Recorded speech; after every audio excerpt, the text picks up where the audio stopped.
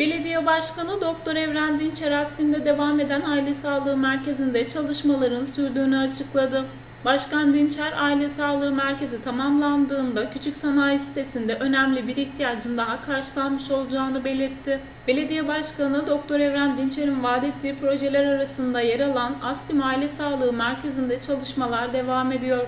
Aksaray Sanayi ve Ticaret Merkezi'nin Türkiye'nin örnek sanayi siteleri arasında yer aldığını belirten Başkan Dinçer, sanayi esnaflarının birinci basamak sağlık hizmetlerine daha kolay ulaşabilmesi için bu projenin hazırlandığını ifade etti. Astim'de sağlık hizmeti ihtiyacının yerinde karşılanması için bu projeyi hayata geçirdiklerini ifade eden Başkan Dinçer, Astim ziyaretimiz sırasında sanayi esnaflarımızın sağlık merkezi yapılması yönünde bizlerden talepleri olmuştu. Bu talepler doğrultusunda sanayi esnaflarımıza bu konuda söz vermiştik. Şimdi aile sağlığı merkezi projemizi başlatarak vaat ettiğimiz bir projeyi daha gerçekleştirmiş olduk. Sanayimize inşa ettiğimiz bu merkez ile sanayi bölgesindeki esnaflarımız sağlık hizmetlerine daha kolay ulaşabilecek şeklinde konuştu.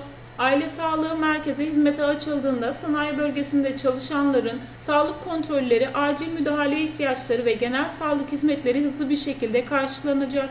Başkan Dinçer, Astim Aile Sağlığı Merkezi'nin kaba inşaatının tamamlandığını belirterek sağlık tesisinin en kısa sürede tamamlayıp hizmeti açmayı planladıklarını söyledi.